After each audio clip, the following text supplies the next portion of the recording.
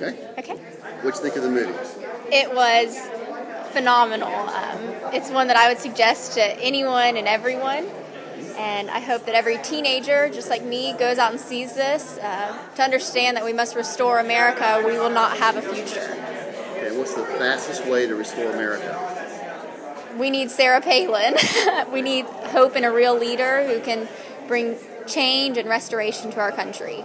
Okay, and I'll press hard. How is she going to do it?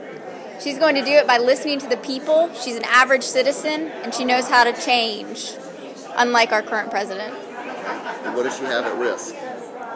She has her whole personality, everything at risk, but she's willing to go against the status quo and do it in name of service. Excellent. Okay. What, what's the biggest thing you got out of the movie?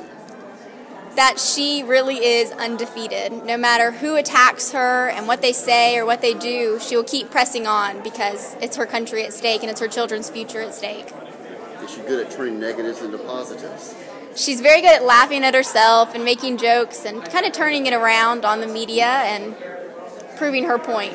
So she's basically bulletproof. Exactly. Ah, okay. the movie's name, The Undefeated, is the perfect title. Okay, so she doesn't take anything from anybody because she really has nothing to lose. Exactly. Right. Excellent. Yes. Good. And your name is? Madeline Macaulay, And permission granted, granted to reprint this? of course. Thank you.